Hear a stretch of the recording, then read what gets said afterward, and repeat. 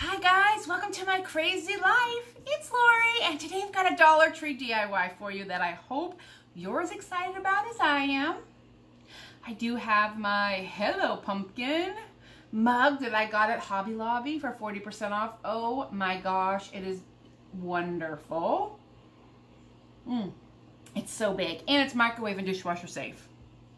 Hashtag not sponsored. All right, so we are going to make a DIY with these items. The pumpkin frame, or the pumpkin, no, no, football. We're gonna use the football frame.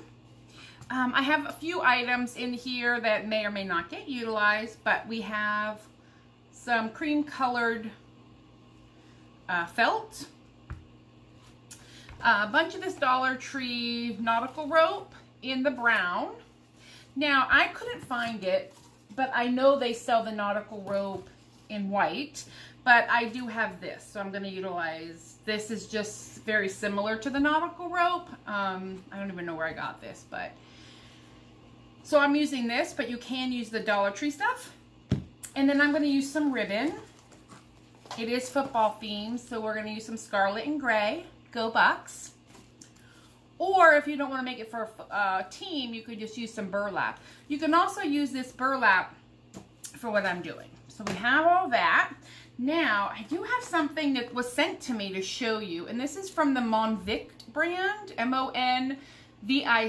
It's a glue gun like the one I use, but it stands up, and it does have two temperature settings, which is really nice. So low and high, but we're gonna put it on setting one. It came with a dozen glue sticks, and their glue sticks, this takes the big ones, not the small, but the big fatties. Came with a dozen of those, and it also came with some silicone fingertips, which was really great. I think it was like $25, um, but I like it because it stands up on its own, and I love these. That's my, my white one does that, and this is just a little bigger, um, and it has a plug so you can you know, unplug it if you need to run some really quickly. Now, mine is battery powered as well. This one is not, just as a heads up. And like I said, this was sent to me um, for a trial, so we're gonna try it today. I don't have a whole lot of glue going on, but we're gonna glue a little bit. And that is everything. I just need to let that come to temperature. Let's reset. And again, you can use any color of anything to do this. This is where I'm coming from. But you could also use ribbon and weave through to do what I'm doing. But I'll show you. All right, so what I'm gonna do is remove the tag. And you can do this circular, but I'm choosing to do it flat. I wanna hang it or use it for a centerpiece or as a part of another wreath. But honestly, all I'm doing is feeding my rope into this end and we're gonna weave it. I'm not even gluing it yet because I needed to have some flexibility. Um, so I'm going in here. Now, if you see these are real small, I'm untwisting the rope just a tad so it gets into that corner. And then we're gonna go over, under, over, under, just a basic basket weave. And I think I'm gonna need about five of these ropes. So over, under, right? So let me show you. I have got one started just so you can see a little better. And so that's what the bottom is gonna look like, right? We're doing the over under. Now that I'm at this spot, I am gonna glue down this little tail that's in, in place, if this is hot enough. If not, I'll come back. Ooh, I don't know. Let's see. This is the first time I'm using it. All right, I got that in there. The handle, I can tell you, the handle moves pretty good. So let's see. Oh, yeah. Oh, guys, that comes out really well. Hmm, that's interesting. I like it. I would say it's definitely in line with the one I got at Joann. It's a little bigger. It has larger glue sticks. And I like the, the heat control. So you can make it more, you know, hot or less. But that got me a really big glob. Oops, don't touch it. I'm not burning myself because it's not, it's at that stringy temperature. But we'll leave that to cool in there and we're gonna continue. And I, when I get to the end, I just wrap it over And we're gonna go one more time across on this, and then we're gonna cut it off and change it to the white. So we're, ooh, we're just going, uh, and it's just a basket weave. However you think you can do this the quickest, maybe sit in front of your TV. Now I do give it a good tug. I want it nice and tight.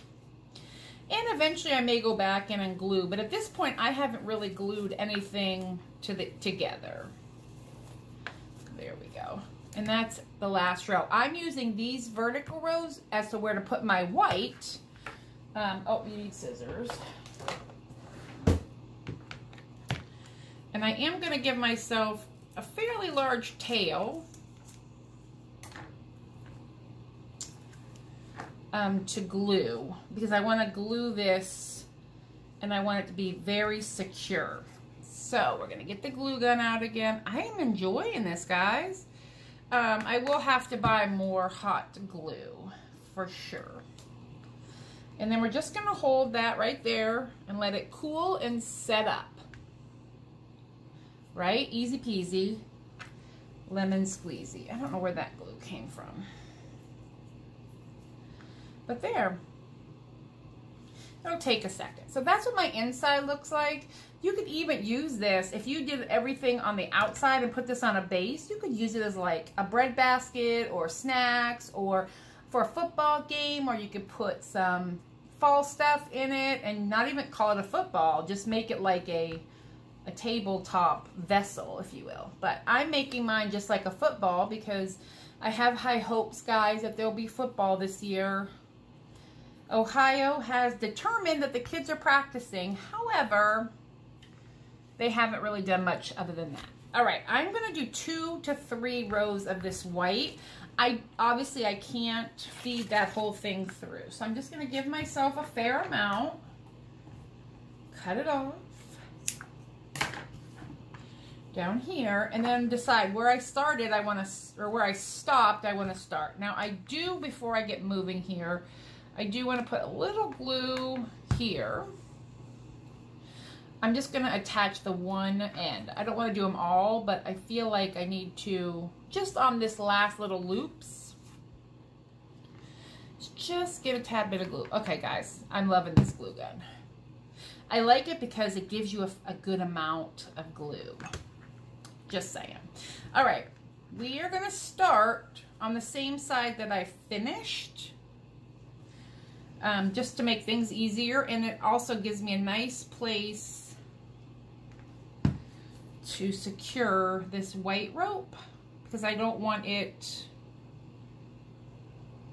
um, you know, unraveling itself. Now the white rope is smaller and it's cotton, but you just do whatever rope you can find. And you know what else would work if your store has clothesline? You could do that in clothesline if you can find one, especially for your sports teams. Colors or the uh, paracord would work for this. So you could do like maybe some, if you wanted to do a football team, you could do the ends in brown, some white, and then your team's color. I mean, there's really no, there's no rhyme or reason here. You do this how you want. Now, I could have went with two thickness of the white to kind of mimic, but I think that would be too big. But I could. If you want it to go faster, you can do that. So here's what I'm doing. I'm just going to weave it in and out. Under, over, under, over. Now I knew I was going to have a little issue on this one side, but I'll get it in there. There we go.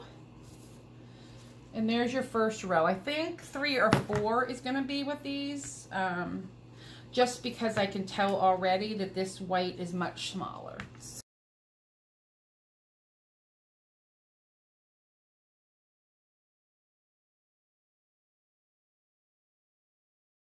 And then we're going to just weave it. I mean, this is, it's going to be a little time consuming, but to be honest with you, it's the easiest thing you're going to do. I've seen a lot of this going on on YouTube and Pinterest, this style of weaving with the metal frames um, this one woman, I wish I could remember her channel, did something similar, but she cut it off here and hung them as like light sconces. Um, I'm not making sconces, but I am making a football that I am going to use, I think as a wall, probably a wall hanging. So there, that feels better to me. So now I'm going to go this way. And if you want, you can take your end. You can maybe even tape off your ends. I didn't, but depends on your rope too. So let's go. So I think we'll go two more, one more time around.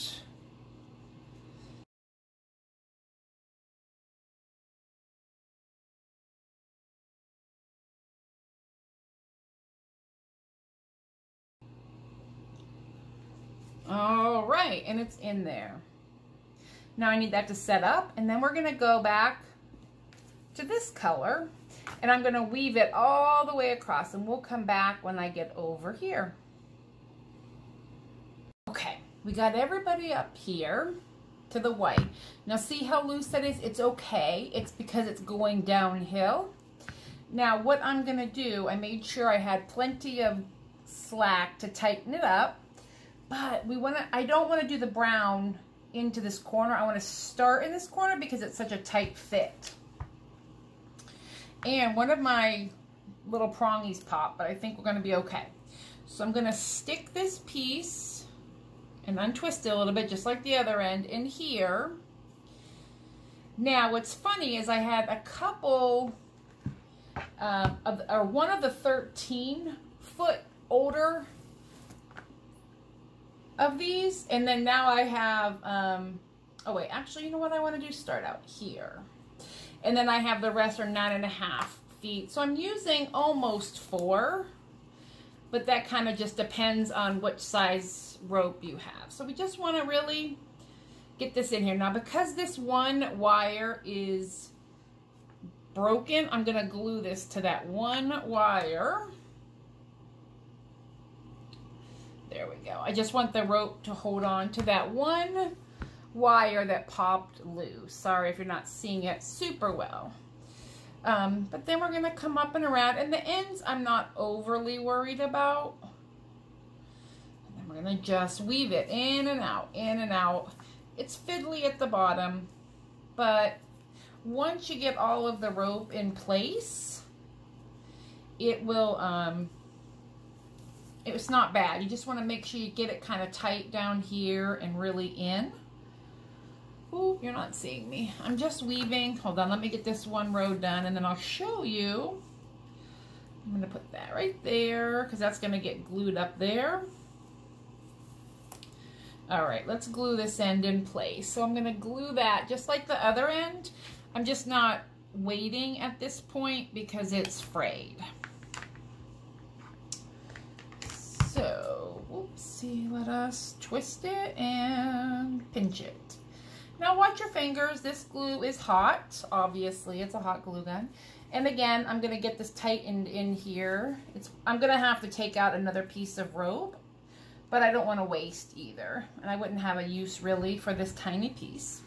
So while that's drying, I'm just making sure everybody's tucked in place. And you just want to like pull it it's fiddly at first, but again, once you start getting the rest of the rope in, it's not as fiddly.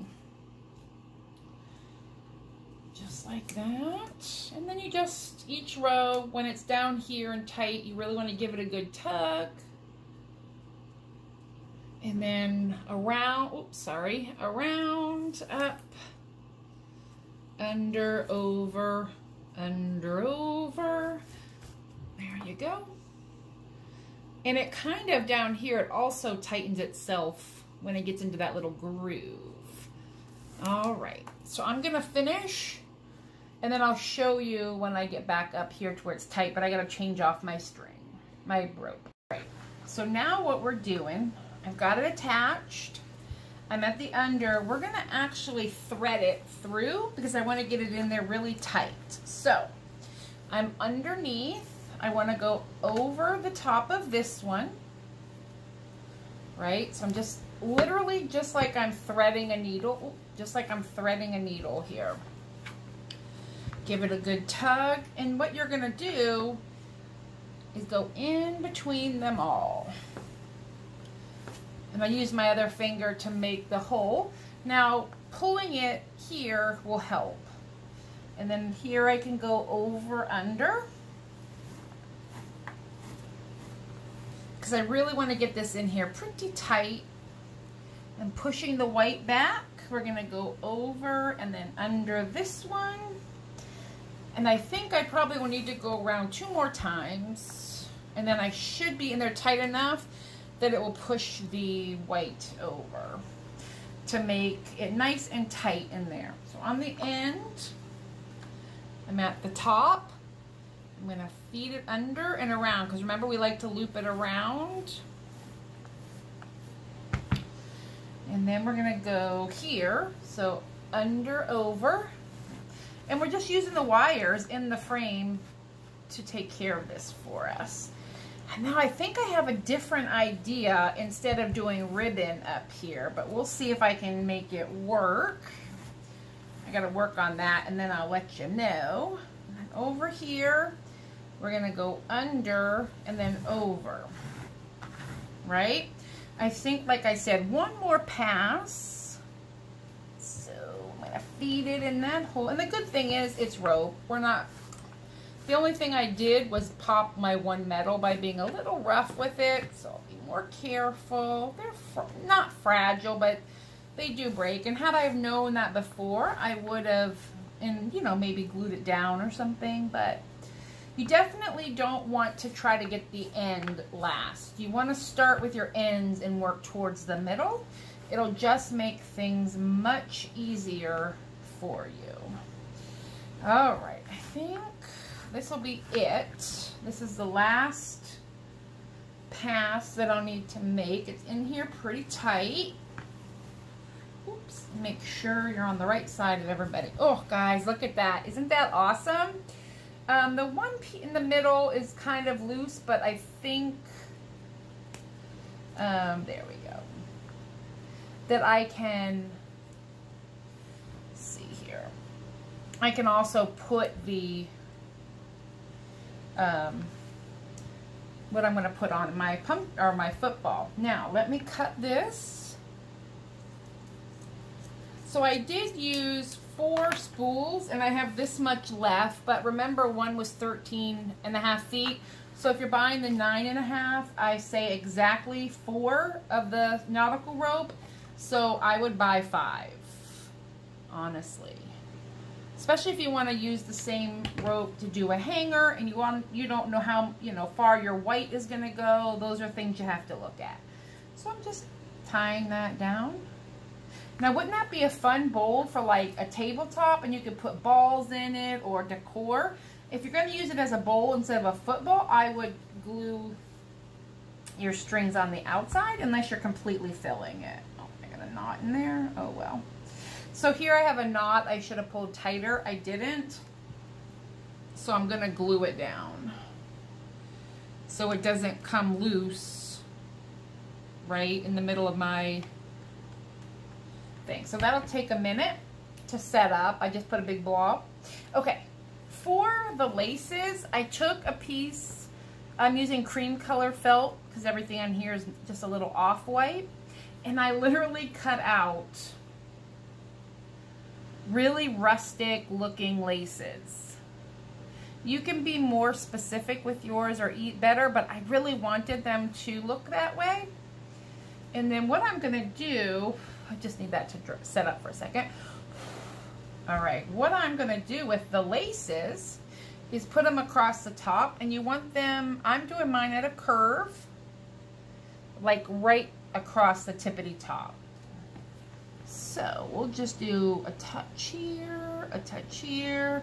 And if you get little strings, it's okay because you can just pluck them off after. But I wanna do that there. And I'm not doing it all the way down. I like it kind of... So that is a football right there.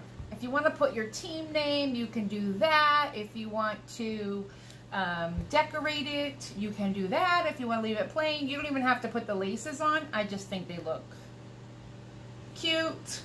And then I'm going to hang it like this on my door and I, you could put like deco mesh around it. You could put this in the middle of a wreath. Maybe I'll just set it on a table. I don't know yet where I'm putting it in my house because big things are getting ready to happen. But let's see what I can do to put OSU on here. And there's the finished product. I took some ribbon and that's scarlet and gray. Those are the Buckeye colors. And I did the ribbon and then I posted Sorry, that's Wellington.